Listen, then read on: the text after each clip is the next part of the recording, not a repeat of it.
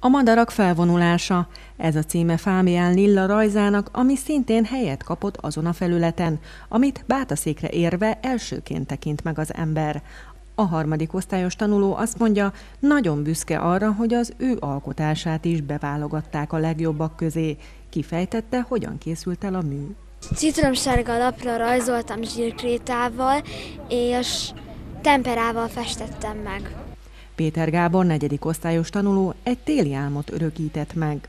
Lány, amikor álmodja, hogy mit képzel el ő a télben, hogy hogyan tervezi el ezt az egész álmát.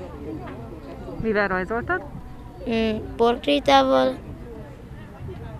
festékkel és féccel.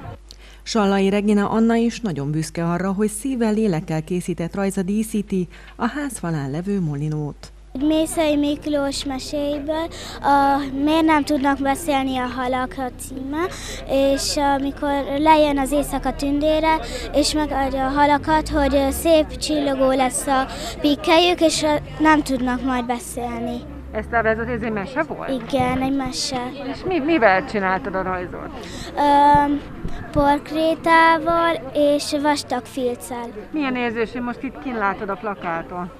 Nagyon örülök neki. Az óriás plakát a város tűzoltói segítségével került a helyére.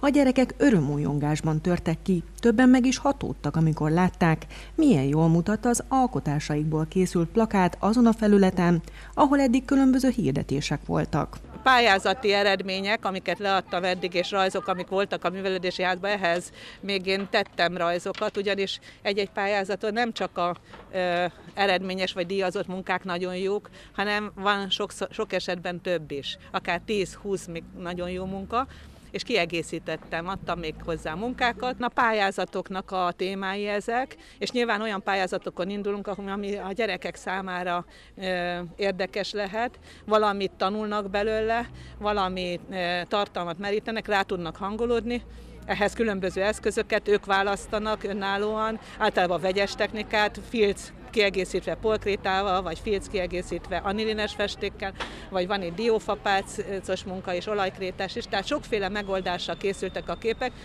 és a téma az pedig a témát pedig a pályázat maga adta. A képeket, ahogy leadtam, utána jött a szerkesztési munka, ahol felkérte a Művelődési Ház Gasznár Ferencet, hogy számítógépen szerkessze össze egy nagy óriás képpé.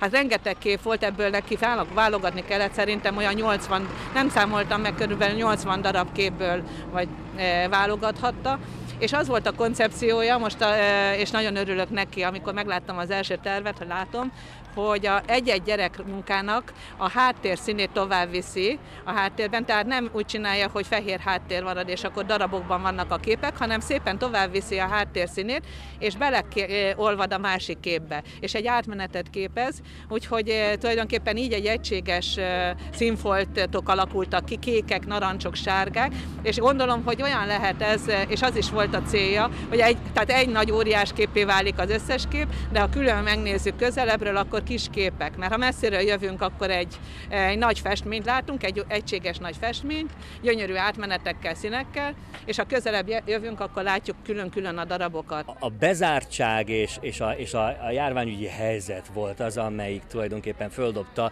vagy kimondatta velünk, hogy mi lenne, hogyha ebben az évben, 2021-ben egy kis vidámságot csempésznék mondjuk azokra a felületekre, amelyek a, a közterületeken láthatók, vagy akár a polgármesteri hivatalban föl felállított rollapokra vagy molinókra, és akkor jutott eszünkben, hogy a, a művészeti iskolások gyönyörű rajzokat csinálnak mindig Erika vezetésével, és, és hogyha ezeket tudnánk megjeleníteni, vagy fölrakni ezekre a felületekre, e, a maguk színességével, fantáziadúságával, kreativitásával együtt, akkor lehet, hogy ez egy kicsikét dobna azokon az embereken, a hangul, a mindennap hangulaton, a levertségen, a szomorúságon, a járványhelyzeten egy kicsikét, vagy, vagy kilendítenék, kihozná az embereket ebből. Úgyhogy ez vezérelt bennünket, amikor úgy döntöttünk, hogy 2021-ben ezeken a felületeken a, a városban élő, vagy, vagy az általános iskolában és gimnáziumban tanuló diákok rajzait és alkotásait használjuk föl.